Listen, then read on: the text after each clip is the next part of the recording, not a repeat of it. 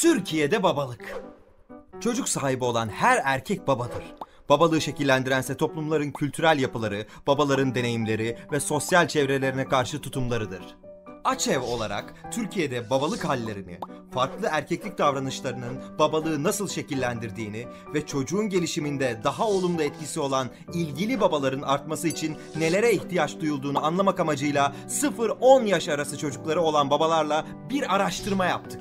51 ilden araştırmamıza katılan 3235 babaya doğumlarından itibaren çocuklarının bakımı ve gelişimiyle ne kadar ilgilendiklerine dair bazı sorular yönelttik. İlk olarak babalara neden çocuk sahibi olduklarını sorduk. En çok aldığımız yanıt %92 ile çocukları çok sevdiğim için oldu.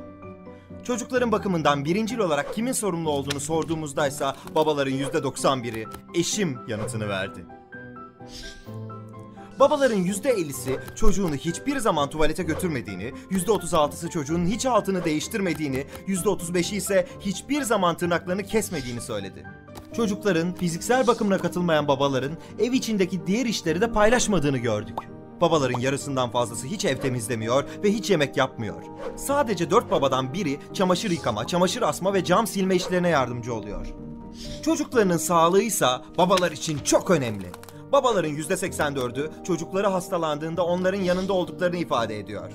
Ancak konu eğitim olduğunda babaların ilgi oranı düşüyor. Babaların %35'i çocuklarının okul etkinliklerine ya hiç katılmadıklarını ya da çok nadir olarak katıldıklarını söylüyor. Babalar çocuklarını sevgiyle büyütmenin önemini vurgularken onlara karşı sıcak ve yakın davranışlar sergilediklerini, onlarla sık sık konuştuklarını belirtiyor. Babalar gün içinde ortalama 9 saat 20 dakikalarını işte geçiriyor ve çocuklarına 2 saat 20 dakika ayırabiliyorlar. Ama çocukla geçirilen zamanın içeriği onların gelişimlerini destekleyecek nitelikte olmuyor. Babaların %79'u çocuklarıyla evdeyken televizyon izliyor. Yalnızca %50'si çocuklarına masal ve hikayeler anlatıyor. %57'si ise çocuklarıyla birlikte kurmaca oyunlar oynamıyor. Ev dışına çıktıklarında da durum pek farklı değil. Babalar genelde çocuklarıyla birlikte sokakta dolaşarak, akraba ziyaretleri gerçekleştirerek ve alışveriş merkezlerine giderek zaman geçiriyorlar. Çocuklara uygun sinema ve tiyatroya giden babaların oranı ise yalnızca %30. Peki babalar kuralları ve sınırları nasıl belirliyorlar? Çocuklarından bekledikleri davranışları onlara kazandırmak için ne yapıyorlar? Genellikle babalar çocuklarının kabul etmedikleri davranışları karşısında onları cezalandırmayı gerekli görüyor. 4-10 yaş aralığında çocuk sahibi olan babaların birçoğu çocuklarına farklı cezalandırma yöntemleri uyguladıklarını ifade ediyor.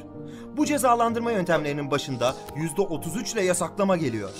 %24 ile sözel ve psikolojik şiddet ve %13 ile fiziksel şiddet diğer cezalandırma yöntemleri arasında.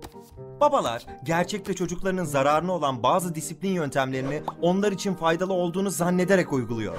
Bazı babalar şöyle hafifçe vurmanın dövmek olmadığını düşünüyor.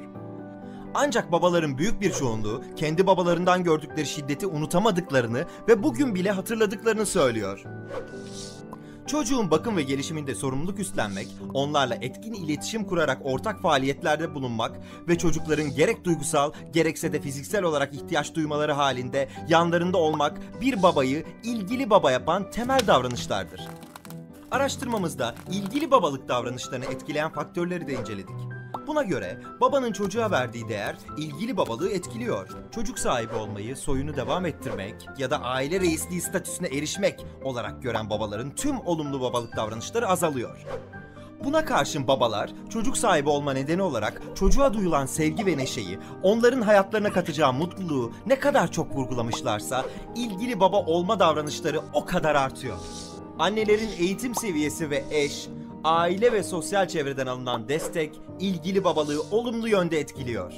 Özellikle baba olmayı yeni öğrenen erkeklerin arkadaşlarından aldıkları sosyal ve duygusal destek onları daha iyi baba olmaları için destekliyor. Babalık davranışlarını etkileyen bir diğer faktör de kadına karşı cinsiyetçi tutum. Babaların %78'i kadınların tabiatları gereği erkeklerden daha güçsüz olduğunu düşünüyor. Toplumsal cinsiyet eşitliğine inanmayan babalar çocuklarının fiziksel bakımına da katılmıyor. Öte yandan ev işlerinde sorumluluk alan ve babalık izni kullanan babaların ilgili babalık davranışları artıyor. Babaların %58'i ilk baba olduklarında ne yapacağını bilemiyormuş gibi hissettiğini, %44'ü kendi kendilerine, %38'i ise babalarından baba olmayı öğrendiğini söylüyor. Peki babaların ilgili baba olmak için neye ihtiyacı var? Babaların en çok desteğe ihtiyaç duydukları konu çocukların zihinsel gelişimi iken en çok ihtiyaç duydukları hizmet çocuklarıyla sorun yaşadıklarında danışabilecekleri bir yer. Babaların %30'u çocuklarıyla vakit geçirebilecekleri daha çok alan, %21'i ise çalışma saatlerinin çocuklarına vakit ayırabilecekleri şekilde düzenlenmesini istiyor. Ayrıca babaların %38'i babalık eğitimi almak istediğini belirtiyor fakat %43'ü buna vakit bulamadığını söylüyor. Yasal hakları olan babalık izinlerini kullanmaları ilgili baba olmalarına katkı sağlamasına rağmen babaların yarısından fazlası babalık izni kullanmıyor. Çünkü ya böyle bir hak olduğunu bilmiyorlar ya da iş yerinden izin alamıyorlar. Diğer yandan uzun çalışma saatleri de babaların zorlandığı konulardan. Türkiye'de erkekler çocuk sahibi oldukları için mutlu olduklarını belirtiyor. Ancak erkeklerin ilgili babalar olabilmeleri ve çocuklarının gelişiminde daha etkin rol almaları için onları destekleyecek ortamlara ihtiyaçları var. Ailede, mahallede, arkadaş çevresinde, iş yerinde yapılacak çok iş var. Çünkü ilk iş babalık.